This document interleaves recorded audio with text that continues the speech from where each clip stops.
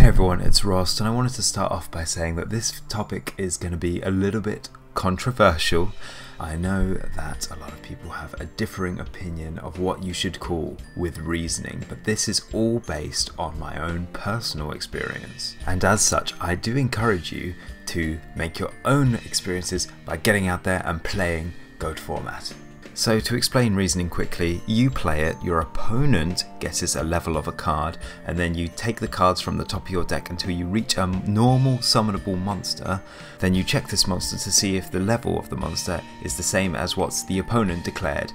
If not, it's special summoned, but if your opponent got it right, it is sent to the graveyard. Before I talk to you about what you should declare with reasoning, I'm going to talk to you about what you definitely should not be declaring with reasoning. I'll start off with 9, 10 and 11. Okay, so I think the best card you can possibly get with this is Androsphinx, and if you look at the card on screen, you will see that it's not actually that good. Uh, so that's enough said about that. Do not declare anything above level 8 because you won't get anything good. Your opponent's very, very unlikely to be playing any of these monsters in the first place. Level 1 and level 3 are kind of in a similar situation. You don't really see any cards of this level being played at all, but when looking through the card list for level 2, I was really surprised to actually see some cards that I've seen used in Reasoning Gates. Um, specifically, there are two cards, the Hand of Nephthys and Cyberstein. Granted, neither of these are particularly good cards, and I wouldn't recommend declaring level 2 off of Reasoning simply because of these two cards, but I still thought it was worthy of note. Now, of the remaining levels, I believe all of these can be considered when making calls, and here is my reasoning.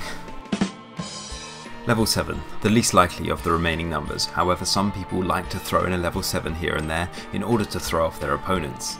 Levels 5 and 6 should be considered for Air Knight and Jinzo respectively, which leaves us with two real options, level 8 and level 4.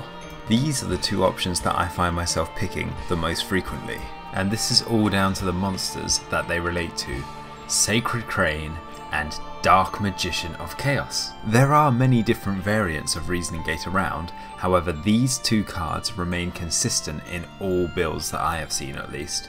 When playing against Reasoning Gate there are many different situations you can find yourself in. The one exact situation we can all find ourselves in though is your opponent activating Reasoning as the first card they actually play. So let's talk about level 8 first.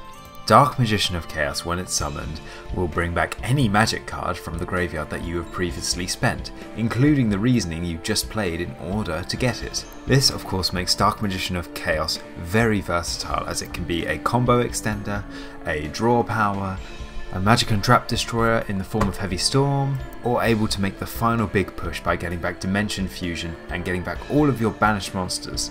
There's no doubt about it, that Dark Magician of Chaos is the best monster you can get off of Reasoning. There are a lot of skilled players out there that suggest picking 8 is the way to avoid the worst case scenario when playing against Reasoning Gate. But this rationale also has to be balanced against the most likely scenario. And the most likely scenario is that your opponent will get Sacred Crane off of Reasoning. So let's talk about Sacred Crane, which is the level 4 option for Reasoning. Now if you summon a Sacred Crane off of Reasoning, you will get an extra card from its own effect. So in other words, the effects of Dark Magician of Chaos and Sacred Crane are fairly similar. Of course, Dark Magician's effect is a lot better because it is able to add any spell from your graveyard, but adding a card from your hand, no matter where it's from, is always a good thing. And although some of the best players may disagree with me, I think the most likely scenario wins out over the worst case scenario. In other words, on the first turn at least, I believe that you should be picking level 4 as your option for reasoning. Because in reality, the worst case scenario is not if Dark Magician gets summoned off of Reasoning. The worst case in reality is if you get a Sacred Crane off of Reasoning and then tribute that off for a Monster Gate and then get Dark Magician of Chaos. There will be more magic cards in the graveyard this way for Dark Magician to choose from the graveyard.